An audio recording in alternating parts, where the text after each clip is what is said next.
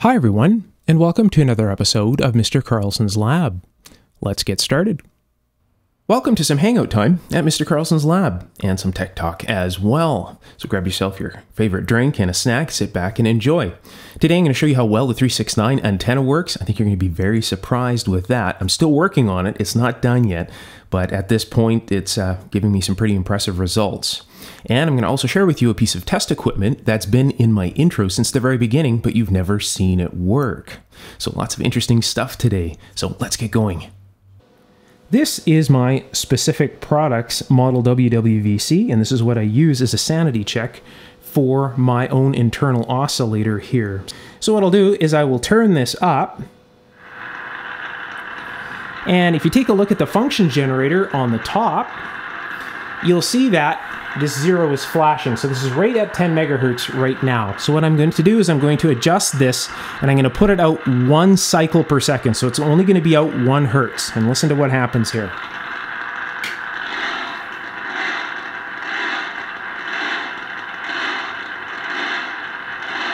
Okay, so here's two cycles.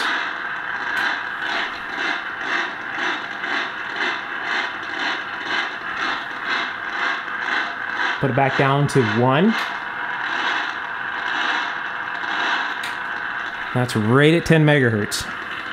So let's go right to the last zero and put it out 0.1 hertz. All right, so we're here, 0.1 cycles if you like.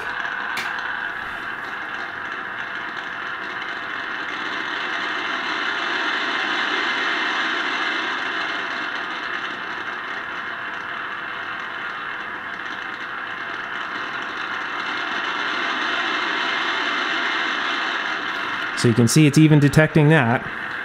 So more resolution than what I can deal with here, so. I should say the maximum resolution of this, right? So I can speed this up. That's out half a cycle.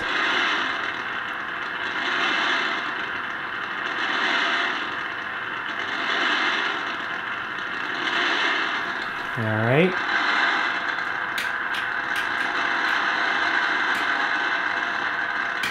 Right about there. Need to start them right at the same point of the cycle. So if I started at a different point of the cycle, the static will be higher. Here, I'll show you.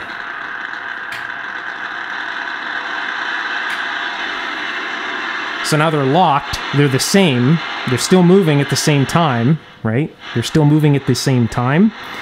But what's happening is, is that I'm starting them at a different portion of the cycle. So I need to try and sync them. I'm looking for the least amount of noise when I hit 10 megahertz. So I'll go like this. There we go. So now, as you can see, I've got them very close to being in sync.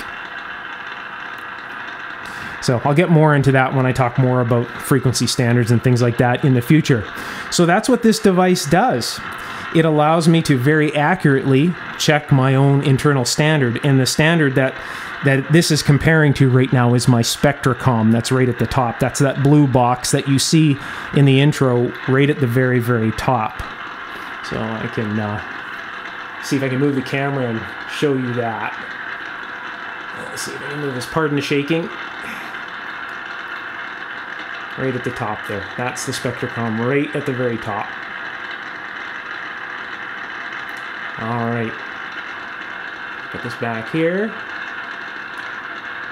Pardon the shaking camera. My tripod is extended right to the absolute maximum there. So, now how this thing works is my signal that's coming in from the antenna. So the 369 antenna is attached to the back of this thing. So right now it's receiving the WWV at 10 megahertz.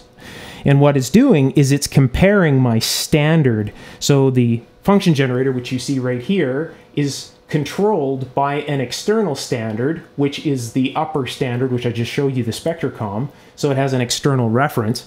And this here just allows me to move that around. So I can put the 10 megahertz reference into this device here, and then I can move it around by you know whatever resolution I want on the screen right there. So what you're seeing is me just taking my own 10 megahertz reference and putting it out one cycle or 0.1 of a cycle or whatever I want to adjust, right? So that's what's going on here. So it's just comparing. So this is the output of the function generator running into this. And then my 369 antenna is running into the back of this right here. And uh, this is just a, a, WWV receiver. And of course, it gives me the option to receive at 2.5, 5, 10, 15, and 20 megacycles wherever it's most active. Since I'm comparing a 10 megahertz standard, obviously I'm going to want it at 10 megahertz right now, right? So that's how this thing works. So this is that thing that you've seen in my intros forever and never seen it work. Here it is the specific products model WWVC. Seldom heard, seldom talked about, seldom ever seen. There you go, there's one in action.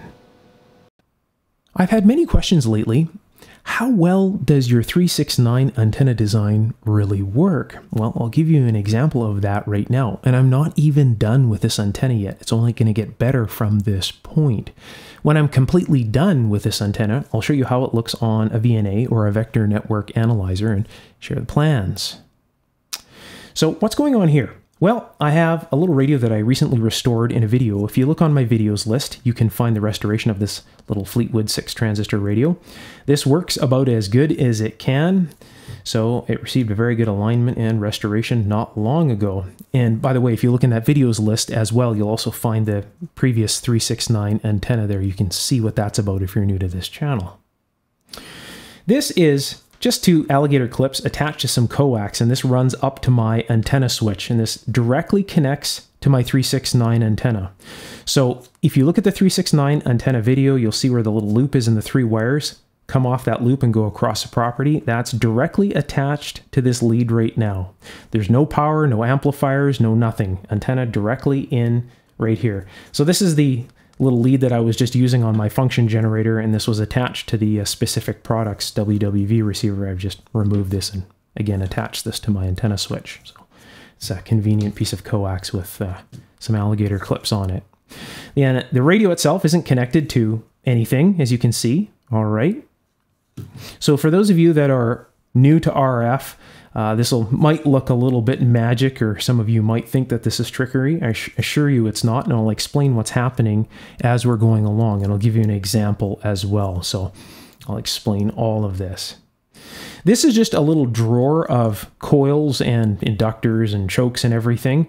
So what I'm going to do is I'm just going to pull out a random, we'll call them a coil, all right? So we'll call them coils. I'll pull out a random coil here and what I'm going to do is I'm going to take that coil and I'm going to attach it to my antenna leads here that are, you know, led in from the uh, 369 antenna. So what I'll do is I'll just tune this down to the bottom end of the band. So this is the very bottom and say we'll stop around here somewhere, okay? Just see what happens. Okay, I'll turn this on. And as you can hear, it's just noise, right? So this new lab is pretty much an RF dead zone. All right, there's a few stations that will come in. If I go right to the top of the band, you'll hear some stations, but they're not that strong. Okay, so nothing happening, right? You can hear it's this radio. Okay. So I'll just take a random coil. This one's sticking out at me. Let's grab this one here. All right. So I'll move this out of the way. I'll move this down here so it's far away from this. Okay, there's no connection, no direct connection here at all. I'll connect the signal lead up now. If you have been wondering what Sean Jones has been doing, look at that. The entire world for the perfect person. No connection, no nothing. I've just grabbed a random inductor and clipped it to my antenna leads. There's no power, no amplifiers, no anything. So from the wires directly into this. Why is that? I need to understand. I will get back to you with a detailed. Right?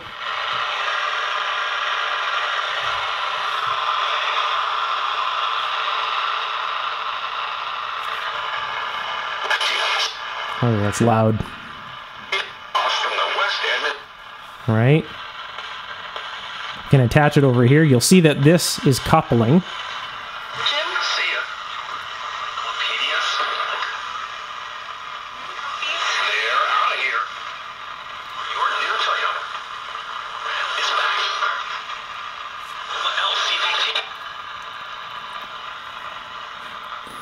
So, what's happening here? Well, you can kind of look at this the same kind of idea as your wireless cell phone charger, right? So you have a charger and then you take your cell phone and then you put your cell phone on the charger. Well, there's a coil inside the inside the actual charger itself and then there's a coil inside your cell phone. And what happens is is you're when you put the cell phone on top of it, it's coupling. So the coil in the phone is coupling to the coil in the charger. And then, of course, you have that transfer there and it allows your batteries to charge. Well, this antenna is receiving so incredibly well that there's no power on this. Like your cell phone charger has to be plugged in and everything, right, to charge a battery, right?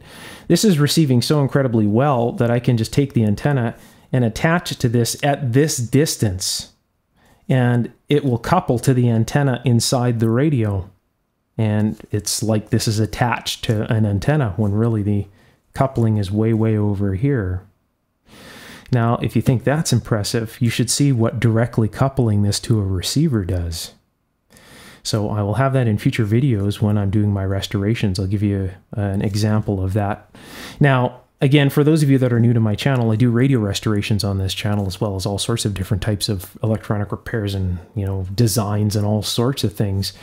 So having a good antenna to demonstrate how well the radio works after a restoration is is you know definitely a needed thing, right? And again, this new lab is an RF dead zone, so I'm you know bringing in the signal into this right here. No power, no batteries, no nothing, just just directly connected right to those antenna wires. So that gives you an example of how well that antenna works, and it's not even done yet. It's still going to get better.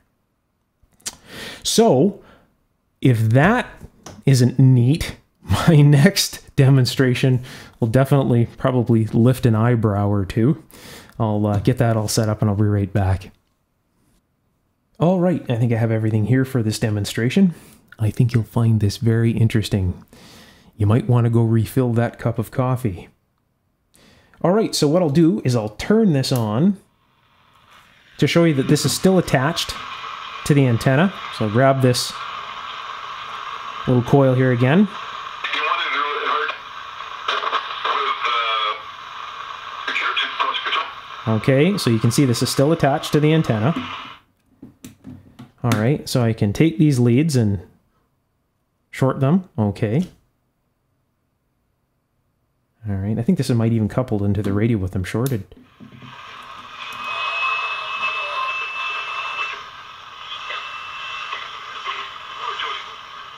Does.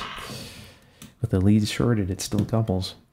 Okay, so what I'll do now is I'm going to take these leads and I'm going to put them across this little array right here. There's four green LEDs. I can add more, by the way. This is just four that I have here for the demonstration. I have a little Schottky diode across here. And there's a 0.1 microfarad capacitor here to show you that, you know, there's no DC on this or anything like that, right? So what I'll do is I'll take this lead and put it to this side of the capacitor right here, and I'll put this one right here. I'll just turn the light off. And as you can see, I have four LEDs glowing. Now there's nothing except the center conductor attached to those three wires. There's no batteries, no power, no anything. It's just connected to those three wires outside going across the property. All right. This has its entirely own ground system. This is not attached to the facility's ground system at all. This is completely isolated directly right up to that antenna, as far as even using porcelain standoffs to bring the ground down to the ground rods in the ground. So it has its entirely own grounding system. There is no connection between this and anything else. It's completely isolated from everything except itself. All right. So now I can go, I can bypass that capacitor. All right. I can reverse the leads because we are dealing with RF, right? Okay. I can take this capacitor here, and what I'm going to do is just put this capacitor, this is 0.01 microfarad right here. You can see that. And I'll just put this across this diode right here and watch what happens to the LEDs. They go out, right?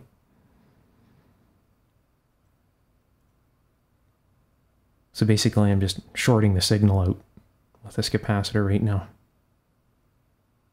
Now I can keep adding these things. I can keep adding more. In fact, I'll put a few more in for you. Okay, so I'll remove this.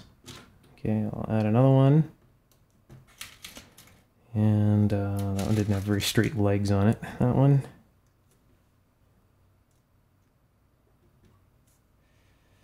And maybe one more.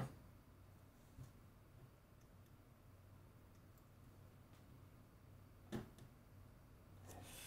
think I have them all connected here. Okay, I'll bring the diode over to the end. So now it's across another three of them. And let's see what happens here. There you go.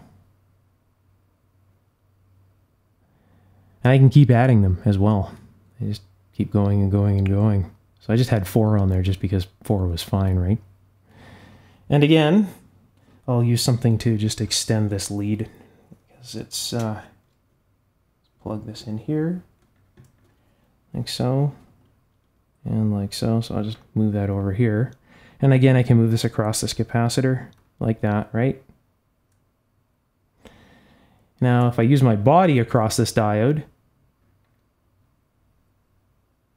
can see that I'm taking the signal off of it by doing this. That's how well insulated that signal is all the way down here. All the way to the lab from the antenna. Take this cap again and put it across the diode. So basically I'm just putting it across this point right here. And of course I'm just basically creating a short from lead to lead with this capacitor here. Okay, so for those of you that are wondering if this capacitor is shorted or not, you might think this is trickery, which it absolutely isn't. Right, it's open. Right, so if I touch this,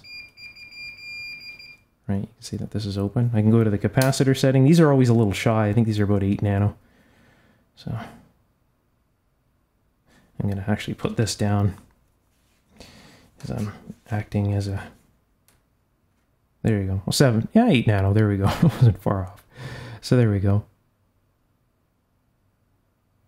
All right, there's nothing special about the diode. I go here to the diode setting as well. So this is a uh, RF diode. So it's a Schottky, so it'd be what, 0.34, I think. Yeah, 0.34. Wow, 0.340 right on. So there we go. All right. So there you go. The antenna is working extremely well. And I'll get more into why this is happening as the antenna is done and um, explain a little bit more about this. So this is what's on the antenna line. I can light up all these LEDs right on the antenna line. In fact, let's take a look at the, the voltage here.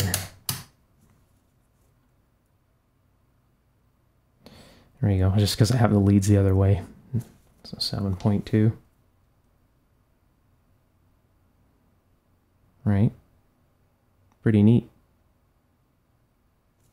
You can see it's the meter is slightly loading it. You can see the LEDs dim out a bit, so it's actually would be higher than that. The fact that they're actually dimming is I'm dragging this down with the meter, so the internal resistance of the meter is causing that to happen. It's actually kind of funny is uh, I get a little flash of the uh, warning symbol here, which is kind of interesting.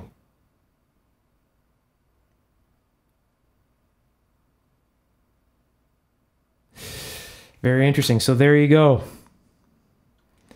The 369 antenna works extremely well. Well, I hope you enjoyed hanging out in the lab today. I'll get more into what's happening here in the future. Um, oh, I'll just quickly drop the antenna because you might be interested in that. Grab a, another piece of cardboard here. Something that will show what's happening here relatively okay. Actually, that came right off. So I'll move this out of the way.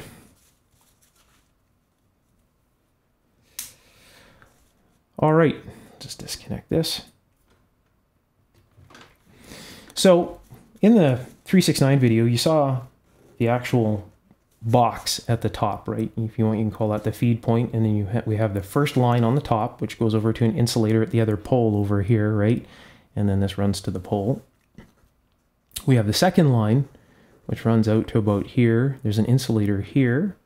There's another piece of line here, which runs to an insulator here and to the pole. And then the third line runs to here. We have an insulator here because it's the shortest run. And then we have a really long wire here again to this.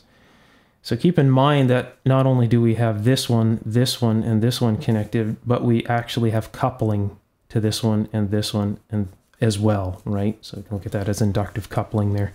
So we have more than three links, and I'll get more into that here in a little bit. This is all in the plan. On the bottom of the box, if you look at the video, you'll notice that there's a loop and then there's a blue wire that runs off. That is the common. Here is where the coax connects. There's 75 ohm coax, which runs all the way right to my switch right here in the lab. So it's a piece of 75 ohm coax, pardon my horrible drawing. And this comes out here. So we have a center connector and then the barrel right down here. Well, this here connects to a box, which is my switch. Put this on here, and then we have a bunch of different outlets on the switch here, right? And then this runs out to my bench, and then I have my two alligator clips. This runs to its completely own isolated ground. There is no connection between any of this and anything else. So this runs down down the actual pole and this goes into ground rods, four ground rods at this point, and they're not very far apart from each other. This, in no way, shape, or form, this entire antenna system is completely isolated from the facility ground here. Okay, so there's no connections. This is it's completely own isolated grounding system, and it's far away from the actual ground rod system for the facility itself. And there's going to be more ground rods going in as well as part of what I'm doing here.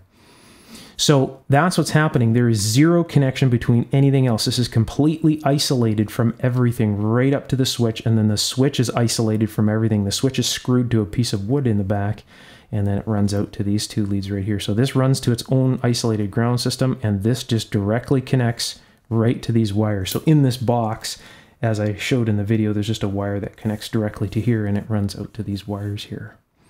And then, of course, you know, we have our, our lengths of wire here, right?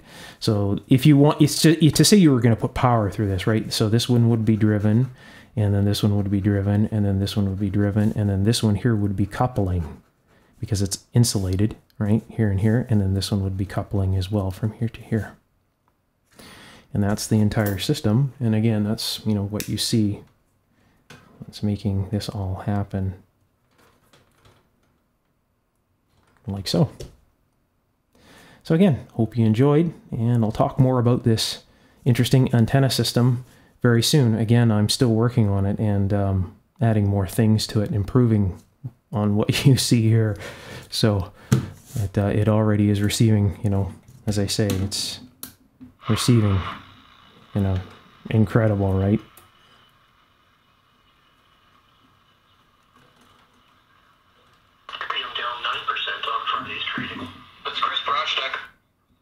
So there you go. Hope you enjoyed. If you're enjoying my videos, you can let me know by giving me a big thumbs up and hang around. There'll be more videos like this coming in the near future. We'll be taking a look at vacuum tube and solid state electronic devices alike. So if you haven't subscribed, now would be a good time to do that as well. If you'd like to be notified as soon as I post a new video, don't forget to tap that bell symbol. If you're interested in taking your electronics knowledge to the next level and learning electronics in a very different and effective way and gaining access to many of my personal electronic inventions and designs, you're definitely going to want to check out my ongoing electronics course on Patreon. I'll put the link just below the Show More tab below the video's description, and I'll also pin the link at the top of the comments section. So if you click on the link, it'll take you right there. All right, until next time, take care. Bye for now.